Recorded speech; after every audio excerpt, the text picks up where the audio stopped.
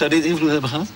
Tweede helft? Nee, dat geloof ik niet. Ik denk niet dat Cruijff daar wakker van ligt. Ik, Maar wel een ik denk, verhaal ik, van die Taylor, hè? ik denk eerder, ja, prima verhaal van Taylor. Maar ik denk eerder dat Cruijff eh, heeft geprobeerd om eh verhaal te halen bij de scheidsrechter... in de hoop dat dat misschien enig effect zou hebben in, eh, in de tweede helft ten faveur Ja, van ze waren Nederland. met de verkeerde dingen bezig. Ja. En ik geloof ook niet dat dat de arrogantie was dat, dat, juist dat Nederland zo ging spelen. Nee, het was juist een beetje de oude mentaliteit van de angst om te winnen. Opeens kwam er één over, gaan wereldkampioen worden, gauw Biesbroek worden. Weet je, Ja, toen, maar- toen trad opeens weer de, de, de, de, de oude Nederlandse minderwaardigheidscomplex op. Ja, ja, dat zag je op dat veld. Ja, maar luister, daar kan die zaak met, tussen Cruijff en Jack Taylor... dat heeft daar natuurlijk weinig mee te Nee, maar gewoon ook niet dat dat, dat invloed heeft gehad op die wedstrijd. Dat geloof ik niet. Nee, ik vond juist in Nederland in de tweede helft redelijk goed spelen. Was die eigenlijk een soort provo, Johan Cruijff, Jan? Nou ja, ja, zo, ja Als je even in provo. dat tijdsgevricht mag zien, ja? En dan in de voetballerij. Ja, als voetballer wel, ja, nieuwe... Ja, maar ook als mens, wat deed nou, als allemaal. mens niet echt, hè. Het, het- hij- bij wijze van spreken is is een, een burgerlijke persoon toch wel. Ja, oké. Dat, dat, dat bedoel ik niet negatief, maar Nee. het is niet echt een... eh, Family een pro, ja, progressief of iemand. Nou, Mag ik dat even weten? Wie, wie regelde dan, behalve Cor Koster, zijn zaken? Was het echt alleen maar Cor Koster? Of Ja. zei Johan, liet hij zich echt maar meenemen? En zei Johan, ja, oké, doe maar, schoonpapa. eh, alle zakelijke beslissingen. Dus die slechte naam, die Johan in die tijd ook had, laten we wel wezen. Vooral als het om de commercie ging, waar iedereen, vooral de journalisten Geld toen... Ja, dat is echt een geld, hoor. Dat was echt een geld, hoor. Nee, de Adidas-strepen, weet je nog? Oh, gauw op. Die, streep moest ja. eraf, moest Puma. Gedoe. Dat, maar dat heeft hij dan zelf kennelijk niet gevoeld als zodanig. Nee, maar hij heeft gewoon al die zakelijke eh, beslommeringen in handen gegeven van Koster. En daar bemoeide hij zich helemaal niet mee, volgens mij. Maar terecht ook voor Cruijff werden voetballers altijd uitgebuit door clubs met contractbesprekingen. Cruijff heeft het zoveel ten goede verlicht, zou ik bijna zeggen. Cruijff, het sociale gezicht van Cruijff komt Nou, zometeen, dames en heren, aan de orde. Eh, zoals gezegd, zometeen meer over Johan Cruijff. Bijvoorbeeld, behalve dat sociale gezicht, over zijn taalgebruik. Begrepen wij nou alles wat Johan Cruijff zei? Dat klopt ook. Ja. Ja, ja, nee, ja, ja. Als je gaat analyseren, dan, dan is het geen lulverhaal. Nee.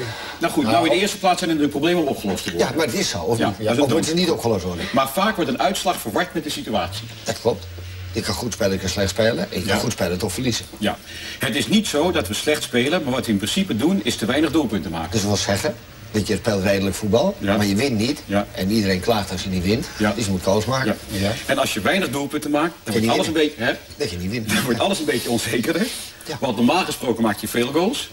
En als er een 1, ge- 1 gaat, dan maakt het allemaal niets uit. Nee, als je met 4-0 voor staat, dan gaat er één in, moet je uitschrijven. Ja. Maar als je 0-0 staat, dan gaat er één in. Ja, dan Dus als je het- er voor te weinig maakt, dan is elke goal tegen te veel. Dat klopt ook. Ja. Het klopt als een bus. Of kan een probleem zijn in het resultaat. Dat heb je ook gezien. 1-0 verliezen en 0-0, 1-0.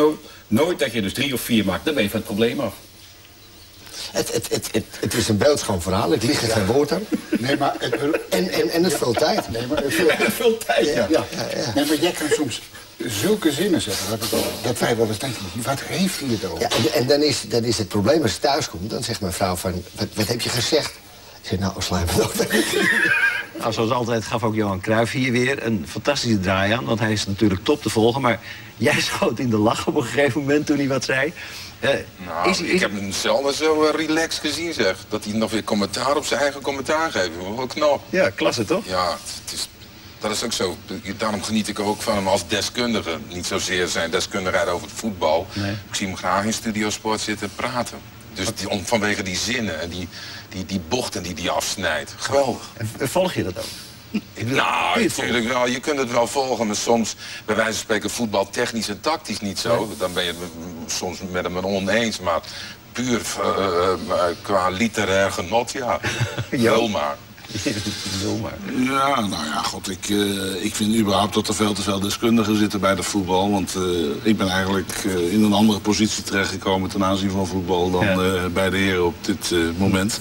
Maar- ik wil voetbal zien en geen deskundige. Maar Johan is Cruijff- de toekomst, Joop. maar, Spijt me. Even, maar Johan Cruijff, ja, dat is een andere dimensie. Ja, en, en kun je dat ook volgen?